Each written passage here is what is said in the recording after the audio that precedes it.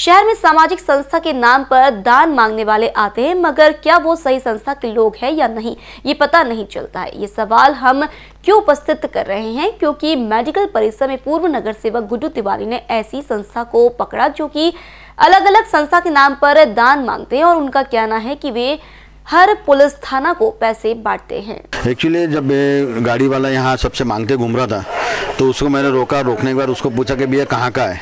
तो एक तो उसको मराठी का बरोबर नहीं आ रहा, इंग्लिश इंग्लिश भी नहीं बोल पा रहा है हिंदी भी नहीं बोल पा रहा है। तो बताने का थोड़ा आगे पीछे कर रहा था। मैंने कौन से पहले पंडित दीनदयाल के नाम से अनाउंस कर रहा था कि पंडित दीनदयाल संस्था के नाम से आए। बाद में जब मैं नीचे उतरा तो बादशाह के नाम से दिखा। और उसके बाद जब अंदर इसके कैबिन में जानने की कोशिश किया कैबिन में उसका बुक रसीद मिली। उसमें बौद्धि बुक्स के नाम से रसीद थी। बौद्धि बुक्स के नाम से रसीद थी। और ये सब रसीद में भी दूसरा नंबर है, और रजिस्ट्रेशन जो नंबर होता है, रसीद में दूसरा नंबर है बैनर पे दूसरा नंबर है तीसरे के नाम से मांग रहा था। जब उसको डिटेल पूछी गई तो कुछ बताने को ये नहीं रहा, बोलता है कि तू गाड़ी में बैठ। मैंने मैं अकेले देख के पहले बोला कि तू गाड़ी में बैठ बोले।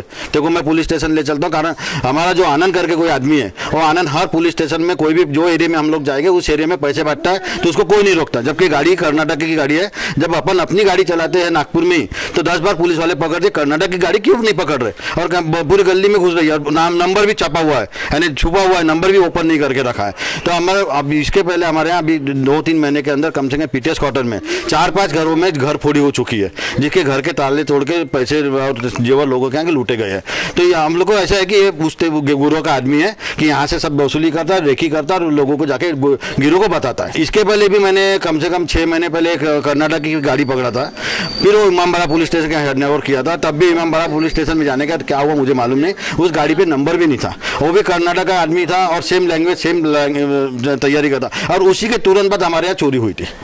और आज भी आदमी आके घूम रहा है, उसको कुछ प्रकार का, उसके पास खुद का लाइसेंस नहीं है। खुद बोलता है, मैं अठारह उन्नीस साल का हूँ, उसके पास आधार कार्ड नहीं है। कोई आनंद करके उसका आधार कार्ड, उसके पेपर लेके घूम रहा है कि हमारे को ये है कि ये सही में इसकी मेल, मेलजोल है और मेलजोल होने के कारण इसमें इतनी कर्नाटक आने का इतनी बड़ी डेयरिंग है। बिल्कुल पेट्रोलिंग की तो मांग करेंगे, इस पर कार्रवाई नहीं होती, इसके लिए आंदोलन भी करेंगे।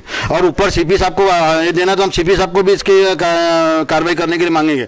और ये जाने के बाद क्या कार्रवाई पुलिस स्टेशन है, इसके लिए मैं माहिती के अधिकार में पेपर भी मांगूँगा कि इस गाड़ी पे क्या कार्रवाई की गई है।